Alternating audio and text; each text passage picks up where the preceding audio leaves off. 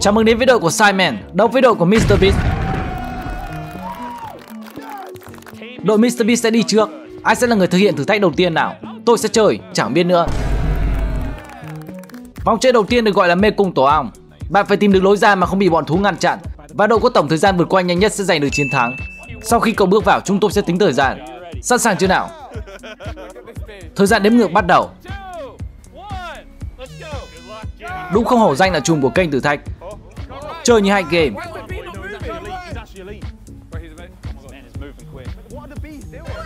Hoàn thành mỹ cung trong 8,5 giây. Trò này quá dễ. Thế còn bên Simon, ai sẽ là người đi tiếp đây? Chính là chủ kênh đội đỏ tiên phong. Tôi thậm chí còn không thấy ong trong đó. Ờ uh, yes, qua rồi thì nói gì chẳng được. JJ sẽ hoàn thành được nó, cậu ta sẽ gặp mày. Tôi nghĩ JJ sẽ là người chơi giỏi nhất, có lại phụ thuộc vào bọn quái. Thế là cậu ta phải đánh lại chúng à? Thực sự thì nên chỉ chạy thôi. Đếm ngược bắt đầu. Go. Vào rồi, chưa chưa đã đâm đầu vào chỗ chết. Cậu ta tránh vỏ dừa gặp vỏ dừa 10 giây trôi qua chỉ chạy làm vòng xung quanh Cậu ta liên tục đụng độ Lại còn chui vào đường cụt nữa Có vẻ như cậu ta phải thử mọi cánh cửa mới chịu được Thông tin cho các bạn đang theo dõi. Anh chàng JJ này chính là chủ kênh có lượt đăng ký hơn 17 triệu người. Video thử thách được đăng tải cùng với đội của MrBeast chính là do cô ấy thách đấu Simon. Cậu ta vẫn cố gắng thử tất cả mọi cánh cửa. Cánh cửa cuối cậu ta đá nó như thật. Tôi đã tạm dừng thời gian rồi. Quay trở lại đi, trở lại đi. Tôi nghĩ cậu ta đã phá nhầm cánh cửa chết thoát ra. Là do phá nhầm cả cửa. Phải quay trở lại đi đúng cánh cửa hợp lệ. Phá cửa thoát ra thì nói chuyện làm gì? Phải quay trở lại đi đúng cánh cửa hợp lệ Nên giờ mới chính thức hoàn thành. Thời gian là 1 phút 16 giây. Có nghĩa là còn xa vời lắm bạn à? Tôi nghĩ nên trừ đi 10 giây vì cậu ta đạp đổ cửa. Thế thì còn 0,56 giây Trừ hẳn 20 giây ảo mà Người tiếp theo của đội Simon chính là Nimble. Tất cả sẽ ổn thôi. Tôi sẽ di chuyển theo chế độ tàng hình. Tôi thì tôi sẽ không đi vậy đâu. Vào đi. Có vẻ thận trọng hơn thật. Đừng có làm đường lạc lối. Có vẻ cậu ta là người thông minh nhất đội đỏ. Tôi lo lắng cho cậu ấy. Nhưng áp lực thời gian của Jimmy là quá nhanh. Lần mò cẩn thận cho lắm cũng không bằng xui rủi.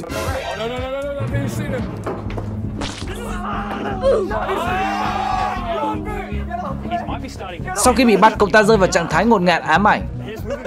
58 giây rồi vẫn còn bị giữ bên trong. Và hoàn thành.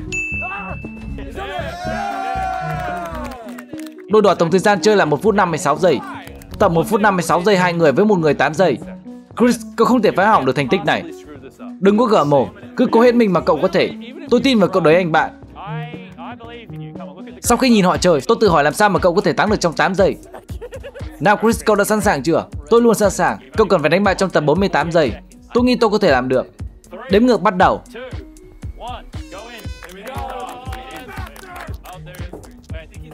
Bị thu vật cho sâm mặt Kéo bề xe lên.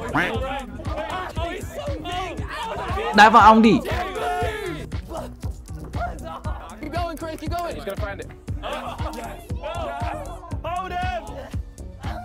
Hoàn thành minh cung trong thời gian 1 phút 11 giây. Tôi xin được thông báo tiết lộ vòng này. Đội thắng cuộc là Đội xanh Mr Beast.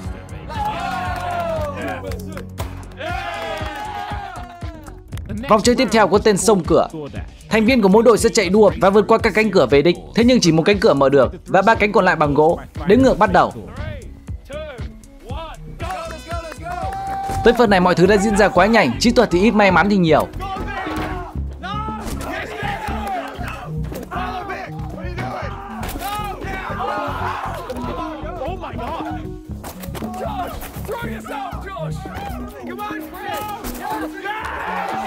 Chiến thuật của Jimmy là cả đội đỏ cho Chris về đích trước.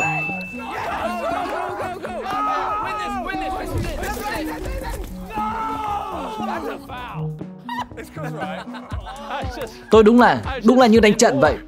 Tôi đặt tay xông cả vào cửa gỗ. Tôi phi xuyên qua cánh cửa này cuối quá đà, tiếp đất bằng đầu gối. Nhưng dù sao thì cũng là đội chiến thắng. Đội thi tiếp theo với điểm nhấn là Nolan. Ngư ngựa thì có vẻ là một lợi thế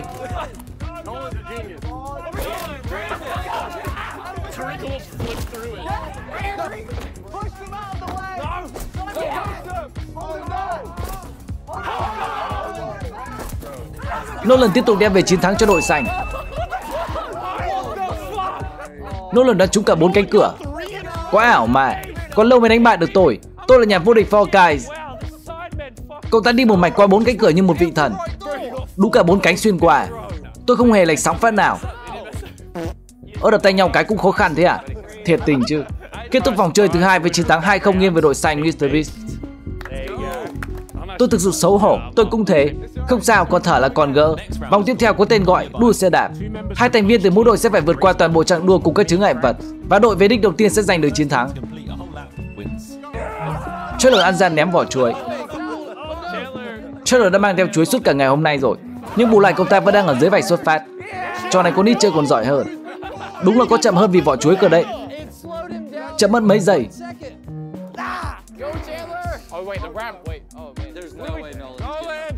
Không thể nào lên được con đồi này.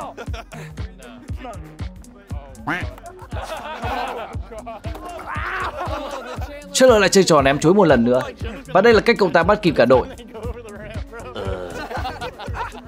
Tại sao cô làm cho gì trên đất vậy?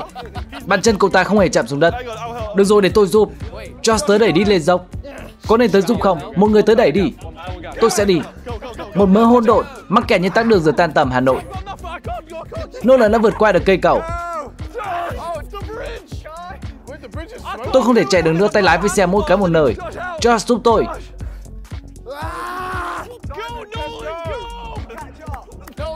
Sốt cả ruột. Nolan tiếp tục tiến về phía trước. Tôi mệt lắm rồi. Cậu vẫn là người dẫn đầu. Đẩy tôi lên đi. Tên đệm của tôi là tốc độ. Ao, hai quả trứng của tôi. Nhân cơ hội tiến lên. Simon. Đỏ tiến lên. Một lần nữa vòng thử thách số 398 vẫn nằm trong tay Nolan đội xanh. Mà thêm một chi tiết nữa Trailer không phải là người về đích cuối cùng.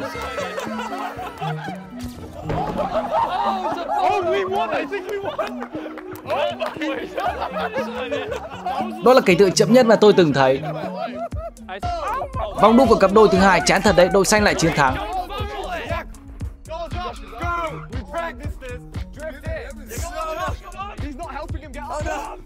No, they're coming all the way around. Go, Cockmarker! Don't let them, don't, don't, don't, don't, don't,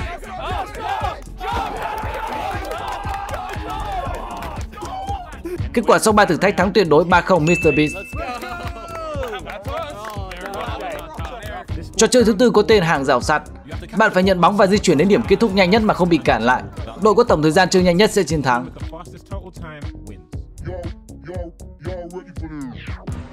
Carl chơi đi vì nước Mi, đồng nghĩa với đội đỏ sẽ làm lưới rào cản. Chúng ta không hề có tay, như cả lũ cụt tay. Không đừng để bóng rơi. Đây là một loại trò chơi bóng bầu dục của Mi, thường được chơi trên sân cỏ của các trường trung học trong suốt thế kỷ 19. Hoàn thành. Vì nâng Mi. Đội đỏ thật là ngốc vì họ sẽ thua tới 4 lần. Thật là nhung nhã bị ngã như con rùa bị mắc kẹt. Tới lượt đội xanh phải làm rào cản Họ đang làm trò gì đây Tôi cũng không biết luôn Nhưng tôi không làm trò hề đó đâu James, chủ kênh sẽ là thí sinh giữ bóng cho đội đỏ. Tôi đoán sẽ vượt qua trong 5 giây. Và lượt chơi nhận bóng bắt đầu.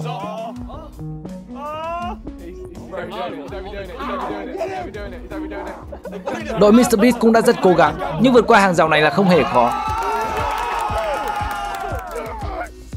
Ăn mừng cũng mạnh mẽ và mới mẻ quá nhỉ. Được rồi, nghe này, đừng thua. Lượt chơi tiếp theo của Nolan. Nhưng cậu ta có vẻ đang sợ hãi. Đôi đỏ cắn bước lần này đã có chiến thuật riêng. Ồ Chris sao bé con thế này? Đừng để hắn ta vượt qua các chàng trai. Không được để vượt qua. Gạo khởi động cũng hoang dã đây Lượt nhận bóng bắt đầu. Có vẻ căng. Quan sát đội đỏ chiến thuật rào hàng dọc chứ không phải hàng ngang. Nolan chính thức bị đánh bại Mà để cho nhanh, thí sinh đội đỏ bên Simon sau khi nhận bóng cũng bị lấy thịt đè người, dẫn đến thất bại. Lượt tiếp theo Chandler, cảm ơn vì đã trao cho tôi cơ hội này. Tôi muốn nói này với bạn mình. Bạn mình sẽ làm được, bạn mình sẽ chạy được hết con đường luôn. Còn tôi sẽ không nói nhiều đâu. Cậu hoặc là chạy hoặc chết. Nhận bóng bắt đầu. Một lần nữa chiến thuật dàn hàng dọc của đội đỏ đã phát huy. Cậu ấy cũng tốc độ nhỉ bro Nhớ là chạy hoặc là chết Này thì run. Chắc là chính thức bị đánh bại. Đây là thí sinh cuối cùng của trò chơi này. Đội Mr. Beast đặt hàng ngang tỷ lệ để lọt qua cao hơn. Cậu đoán vượt qua trong mấy giây? Tôi nghĩ sẽ xuyên thủng mất 6 giây. Ra bóng bắt đầu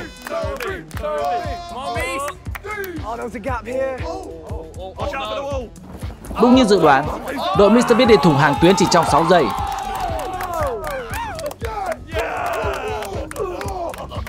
Một điểm đã về với đội của Simon Điểm số hiện tại là 3-1 nghiêng về đội Mr. Beast buộc chúng tôi phải nâng cao tinh thần cho phần thi cuối cùng này. Liệu đội nào sẽ giành được chiến thắng chung cuộc cuối video này? Người chơi lướt ván dừng lại đúng vị trí chính xác tại vạch mũi tên sẽ được tính là đạt và nếu họ lướt qua quá đà, sẽ được một vé tắm trong hồ bơi. Tôi sẽ làm mẫu cho các bạn thấy trò chơi thử thách này chơi như thế nào. Lướt đi chỉ trong một lần đà duy nhất. Tường làm mẫu thế nào? Tôi khuyến nghị các cậu hãy phi chậm hơn. Tôi cần biết độ lạnh nước này trên thang điểm 10. Lạnh đóng băng họa mi đó luôn các chàng trai. Ok, ôm tôi đi Jimmy. Đây là những điều gì sẽ xảy ra nếu bạn thất bại. Hiểu rồi, thế đội nào sẽ chơi trước? Đội Simon. Tôi đồng ý luôn, tán thành luôn. Một lần nữa xin được nhắc lại, Simon chính là chủ kênh 17 triệu người đăng ký và là chủ của video thử thách này. Bắt đầu này. Nam tính thì có thừa nhưng hơi yếu. Và còn sau khi gặp nước lạnh thì nam tính cũng đi hết.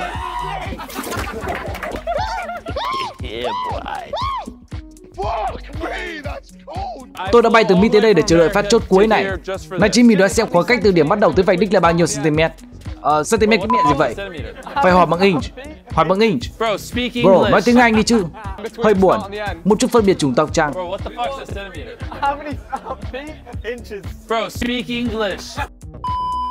Có thấy tôi vẫn đang đi giày không anh em? Có nghĩa là tôi vẫn tự tin vào bản thân. Gáy khét đây. Đếm ngược bắt đầu. Một pha lướt ván hơi cồng kềnh Nhưng quá đuối.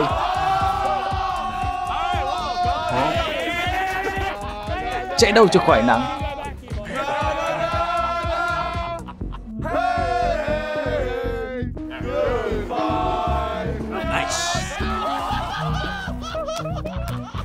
Nó rất lạnh. Họa mi tôi ngừng hot từ đây. Tiếp theo hãy mang vinh danh về cho đội đỏ Simon.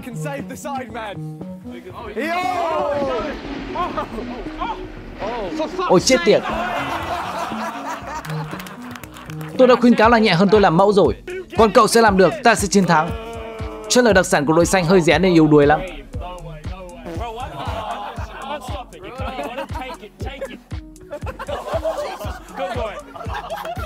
Ôi giời say sóng. Mặt hơi cáu. Ôi, bạn tôi không sao khăn đây.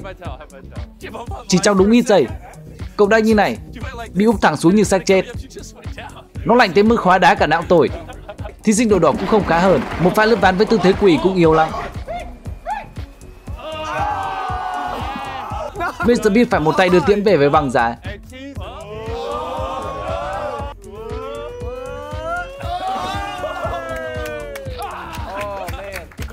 Tiếp theo là đội xanh Nolan. Một lần nữa đặc sản là hơi rén, yếu lực.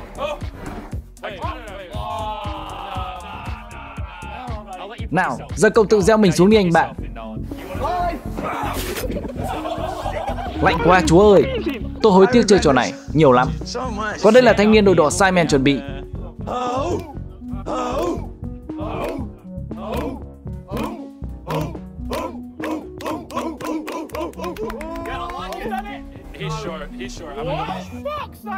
Vẫn nhiều, tôi xin lỗi anh em.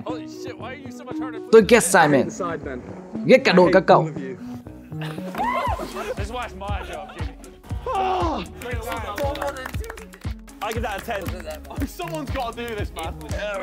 Được rồi, lượt tôi rồi. Thể hiện đi nào. Phi này, tôi không nghĩ cậu ta làm được đâu. Ăn điểm rồi à?